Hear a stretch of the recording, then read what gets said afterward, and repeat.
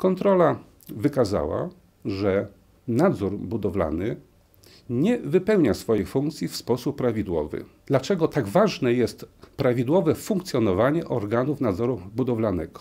W ostatnich latach, średnio w roku, wydawany jest w Polsce blisko 220 tysięcy decyzji o pozwoleniu na budowę i 150 tysięcy decyzji o pozwoleniu na użytkowanie. Przy tak dużych liczbach nowo rozpoczynanych i kończonych budów, poziom zatrudnienia w organach terenowych wynoszący około 2000 merytorycznych pracowników jest zdecydowanie za mały. Na przykład na jednego merytorycznego pracownika powiatowego Inspektoratu Nadzoru Budowlanego przypada średnio około 150 rozpoczynanych budów i 100 obiektów oddawanych do y, użytkowania. Na słabość funkcjonowania organów nadzoru budowlanego niewątpliwy wpływ miało niedofinansowanie tych organów, powodujące dużą fluktuację kadry i nieosiągnięcie zakładanego poziomu zatrudnienia. Obsada etatów wynosiła około 70% przy pełnym wykorzystaniu środków finansowych. Ustalany corocznie dla organów nadzoru budowlanego szczebla wojewódzkiego i powiatowego poziom wydatków finansowych nie zaspokajał ich wszystkich potrzeb, a w tym w zakresie zatrudnienia większej liczby pracowników merytorycznych. W organach wojewódzkich niedobór ten kształtował się na poziomie 12 milionów złotych, a w organach powiatowych w wysokości około 10 milionów złotych.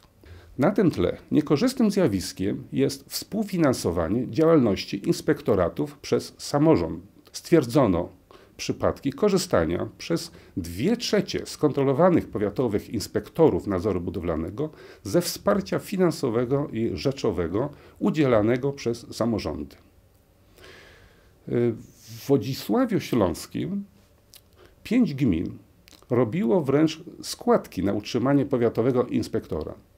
Wskazuje to na możliwość występowania konfliktu interesów a tym samym na niedochowaniu pełnej bezstronności i niezależności tych organów w prowadzeniu i rozstrzyganiu toczących się postępowań administracyjnych dotyczących inwestycji celu publicznego. Występowały także przypadki braku upoważnień do wystawiania mandatów karnych inwestorom naruszającym przepisy prawa budowlanego.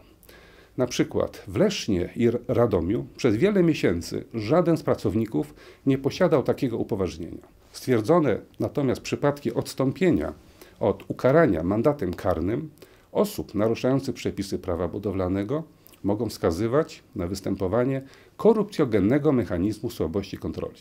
Stwierdzono także przypadki nieposiadania przez niektórych pracowników merytorycznych uprawnień budowlanych.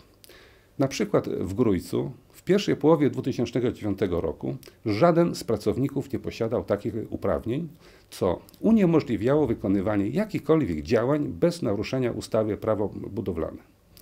Aby temu zaradzić, okresowo zlecono więc przeprowadzanie kontroli w imieniu powiatowego inspektora osobie nie będącej pracownikiem inspektoratu.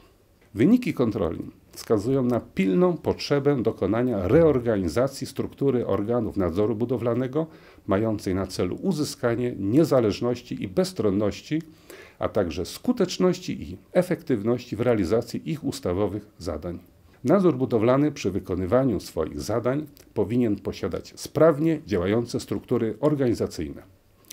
W związku z tym NIK uznał za konieczne wystąpienie do ministra transportu, budownictwa i gospodarki morskiej o podjęcie działań w zakresie wprowadzenia nowych rozwiązań systemowych służących właściwemu wykonywaniu przez organy nadzoru budowlanego zadań nałożonych ustawą prawo budowlane